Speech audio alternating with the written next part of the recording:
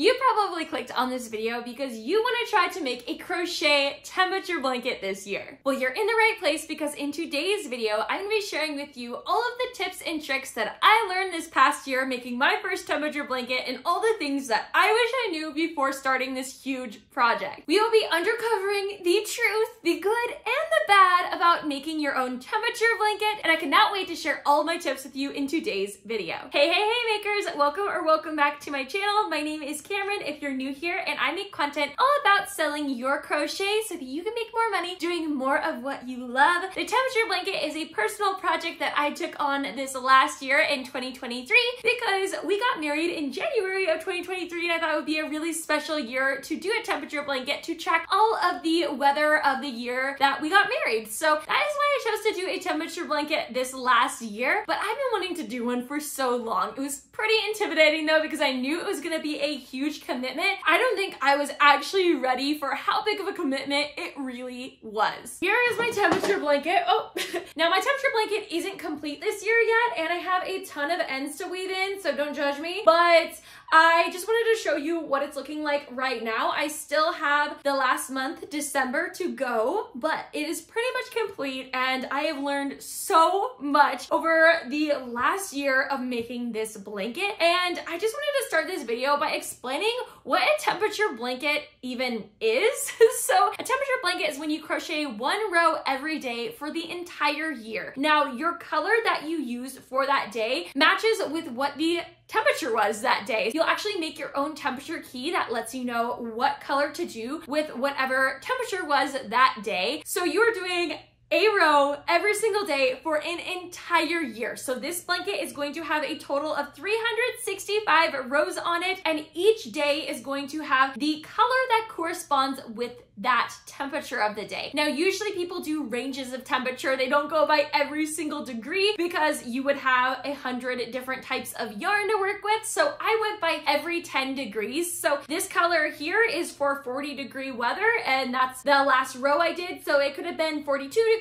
it could have been 48 degrees, but it is the 40 degree color. So that is what a temperature blanket is. I'm not sure who created this trend or who started the temperature blanket, but if you know go ahead and comment down below. This is definitely not something that I came up with. It's something that I've seen a ton of other makers do, and I definitely wanted to try it out this year, and I definitely don't regret it, but there are some things that I wish I knew ahead of time, so that is what we're going to be chatting about in today's video. First, I wanna make it a point that this is a huge commitment. Now, you're probably thinking, yeah, it's a huge commitment. It's every day for the full year. But I don't know what it was last January. I was thinking, oh, this will just be so fun and it's gonna be easy. It's just a row every day, whatever, it's fine. And a few months in, I was struggling to keep up on my temperature blanket. So this is something that I want you to keep in mind that it is a huge commitment and the motivation you have in January is gonna be different to the motivation you have halfway through the year when it's June and it's warm and you're busy and it's gonna be harder to keep up on your temperature blanket. So I just want you to know that this is a huge commitment to commit to doing something every single day for a full year is huge. Now, I don't know, maybe it's just because in January we make all these goals and we get all excited and then a couple months go by and we realize, wow, that was a lot harder than I thought it was gonna be. I think that's what happened with me with the temperature blanket. I just wanna put a huge point on this. It is a huge commitment. So if you are not ready to commit every single day, or at least weekly, we'll get into that later. But if you're not willing to commit to the full year, that's totally okay. You can do a half year one, you can do a quarter of the year on your temperature blanket, but just know if you're willing to do the full year, it is a huge commitment. There were a few points for me this last year that I started getting behind on my temperature blanket. One was in June because I was prepping for this huge show, so I was crocheting a ton, and I just didn't really have the motivation to work on it because I was crocheting all sorts of things. I was making a lot of amigurumi at the time and I just didn't feel like sitting down and doing my rows. So I got about three weeks behind. Now catching up was hard. So I really highly suggest to keep up on your temperature blanket as much as you can. I know life happens. I know it gets hard, but if you can keep up and not let yourself get more than a couple weeks behind at a time, because once you get far enough behind, it's really hard to catch up. The other time that I got behind this last year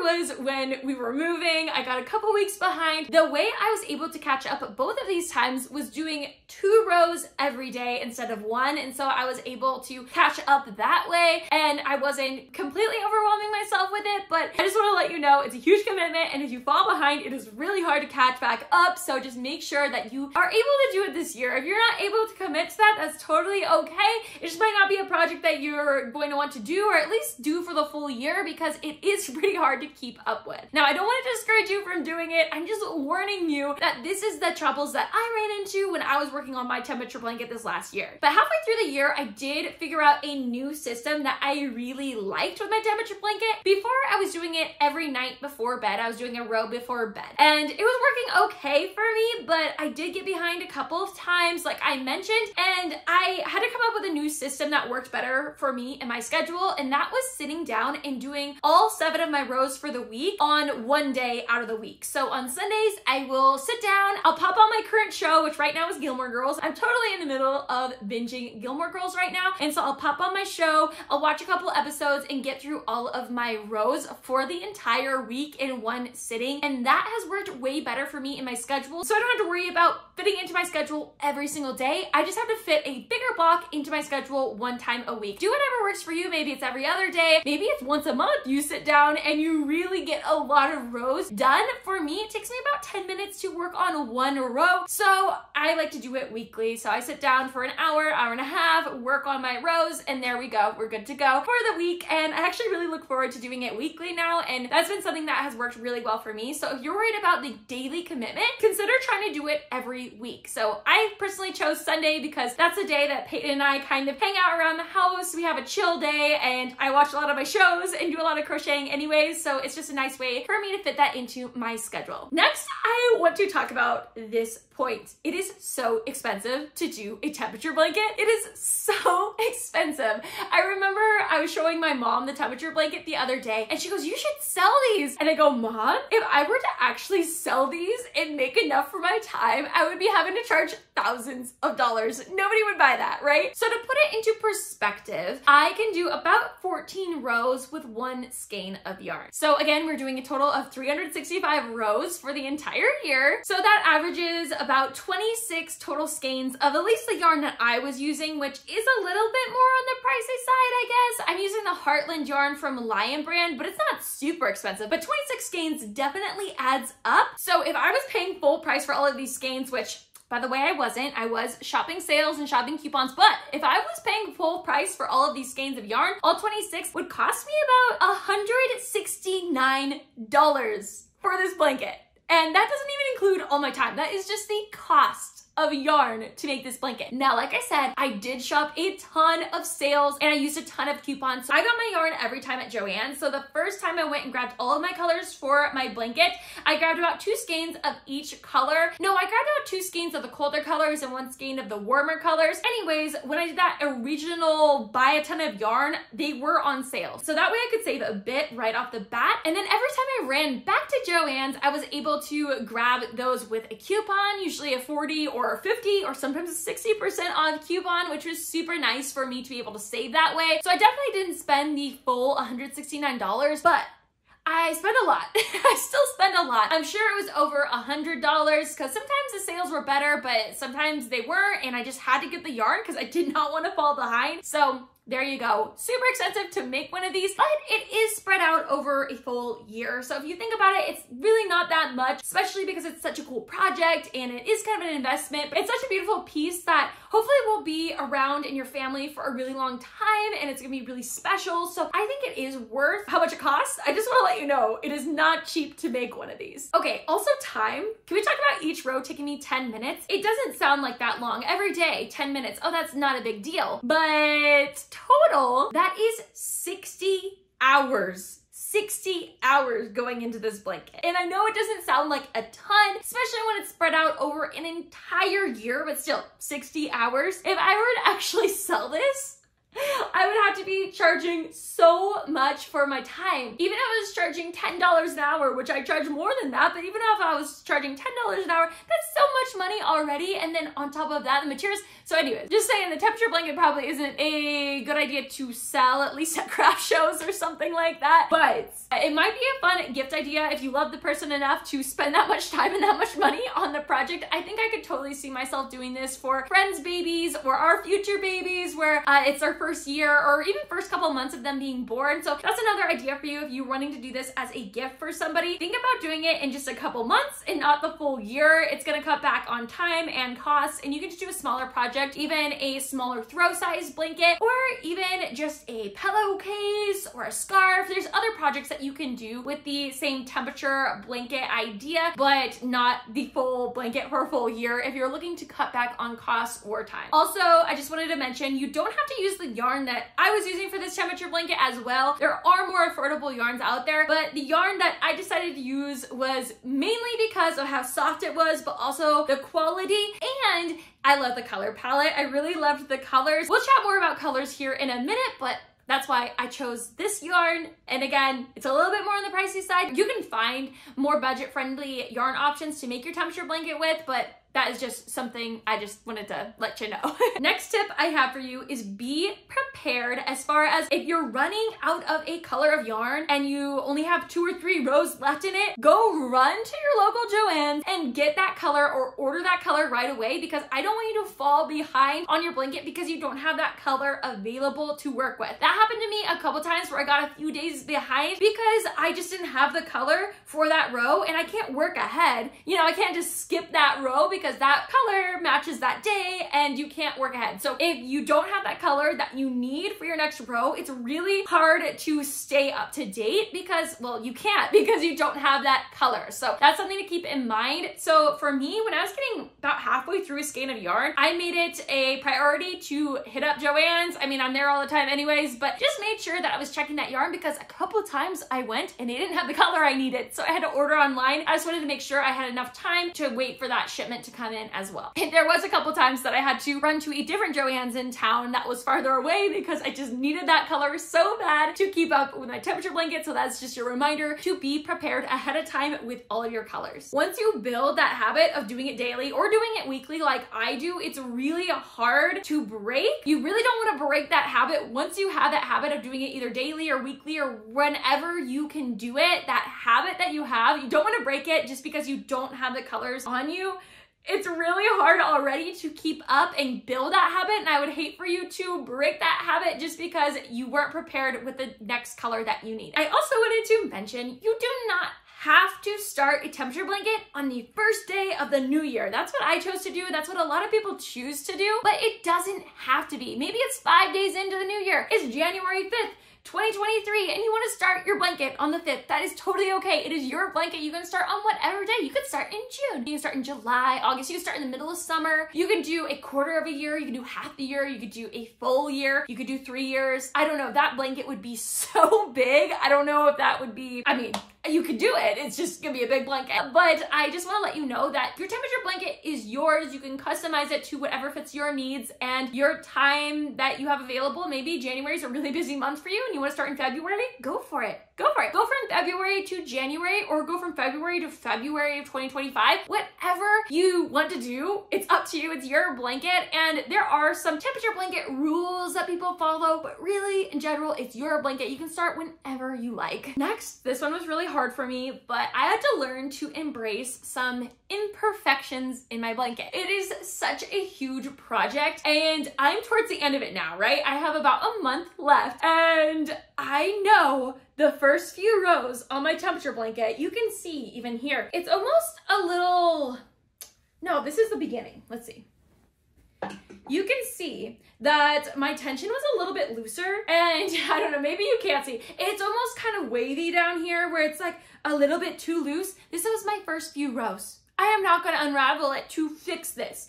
I can't. I wouldn't be able to. This is 60 hours almost, you know? It's so many hours of work that I'm not going to go all the way back to fix these first few rows that aren't really feeling like they were perfect. You know, oh, and you see some imperfection, you see you missed a stitch, a hundred rows back, you missed a stitch you gotta leave it. You gotta embrace the imperfections, okay? You're not selling this item probably anyways. It's made with love, okay? So a machine didn't make this, a human being made this. You're amazing for doing this. Just give yourself a little grace. You're gonna have to accept some imperfections because you will notice some. And it was actually pretty good for me as a perfectionist to notice them. I love it anyways. I love it even though it does have some imperfections. Oh my gosh, I have so many ends to weave in. It's not even funny.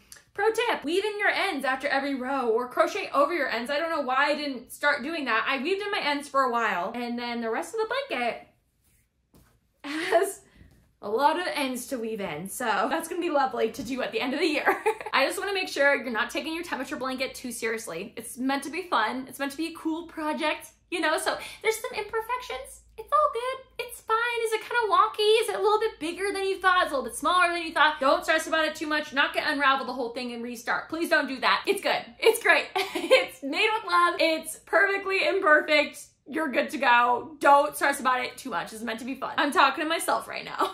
Next tip that I found really helpful was keeping record of temperatures throughout the week, especially if you're looking to just do them weekly. So writing down, jotting down those temperatures throughout the week. Or I found a website where I can look back at past weather reports in my area. So I will link that in the description box down below if you want to go check out that website and you can just look up past weather. And that was super helpful for me to just keep track of the highs and the lows and everything that I needed to know. Well, actually that brings me to my next point and that is I tracked the highs of every day and that is what I ended up doing for my temperature blanket. This is the high temperature. This is the, the peak of how warm it was or cold. but I, I was tracking the highs. I was not doing the averages. It was one, a little less work for me, but two, I got more variation in my colors in my blanket because the highs were a little bit more all over the place than if I was just taking the averages of each day, but totally up to you you. It's your temperature blanket. Do what you want. But I just heard somewhere that somebody else mentioned that they wish they did the highs, and that's what I did this year. And I really loved how the pattern turned out. So if I were to do another temperature blanket, which I'm thinking about doing another one, just because I already have the habit and it was a lot of fun. Uh, I would just continue doing the highs of each day. I think that worked out really well for me. Lastly, I want to chat about the color scheme. I feel like when I first wanted to do a temperature blanket, I thought that you had to use these super vibrant rainbow colors, which no shade on those colors. They're super fun. I just couldn't picture myself working with those colors because I don't ever work with those colors in my business. That's just not my style, my home decor style. And the colors that I have in our home and so I just wasn't really motivated to make a temperature blanket because I thought you had to use super bright neon colors. They had to be, you know, blue had to be for the super cold day. And then there had to be a red and a yellow and a green. There had to be the whole range of colors. And you know what?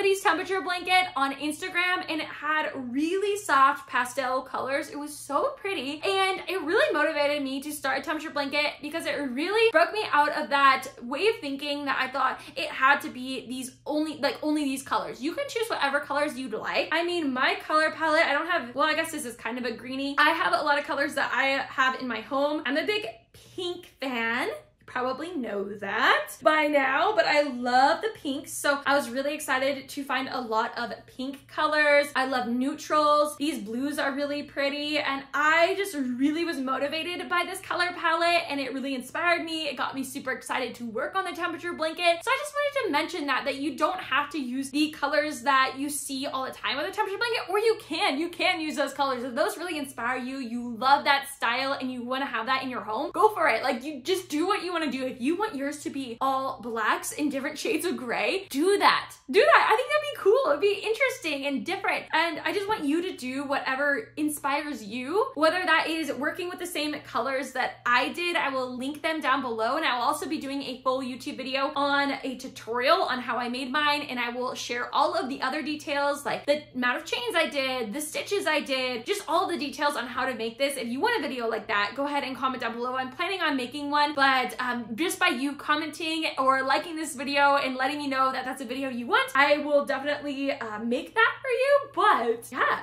what else would I want to say? Something that I love to do with my colors is the cooler tones I put with the cooler days and the warmer tones with the pinks and kind of these browns were warmer days and that just made more sense to me. But you can do whatever you want. You can mix it around. Do what, do what feels right for you and your temperature blanket. Another thing that I did was I added, well, I added a white strip for our wedding day So that was the 22nd of January. That's why it was right here at the beginning. And then I also, for really cold days, I have more of a contrast color and really hot days. We had three days that were over 100 degrees over the summer all in a row. So I used more of a contrasted color here as well, just because I wanted those to pop out a bit more. But pick out other colors for your birthday, for special holidays, special days, if you're getting married, if you're having a baby, things like that are super fun to uh, just add as your row for the day. So I don't do the temperature, I just did the white as the row for the day. So yeah, there's a little fun extra thing that you can do in your temperature blanket. I will definitely chat more about that in the actual tutorial I do on how to make your own temperature blanket. All in all, I don't regret doing my temperature blanket. I actually want to do another one. It was a lot of fun. Again, it was huge commitment. It was expensive and there was a lot of time invested into this project, but I think it was totally worth it. It's really cool. I actually got a custom tag to put on there as well that says we got married this year. It's temperature blanket 2023 Spokane, Washington, or first year of marriage. It says something like that there. It's gonna be super cute on there. So I'm super excited to have this finished and also share the tutorial on how to make one as well. But I hope this video gave you some inspiration and now you know if a temperature blanket is the right project for you this next year. And if you're watching this in the middle of July, yes, you can still start a temperature blanket. It doesn't matter what time of year it is. Start the temperature blanket whenever it works for you in your schedule. Choose colors that inspire you. Just be aware that's a huge time commitment and it's gonna cost you a lot, but it is spread out over a full year year, so don't stress about it too much. Again, this is meant to be fun, and I can't wait to see the temperature blankets that you work on this next year. If you love this video, be sure to like it down below and let me know, and I can make more videos like this one. I had so much fun hanging out with you in today's video. I would love to keep hanging out with you here on YouTube, so if you want to keep hanging out, I will see you, my friend, in this video right here. Bye!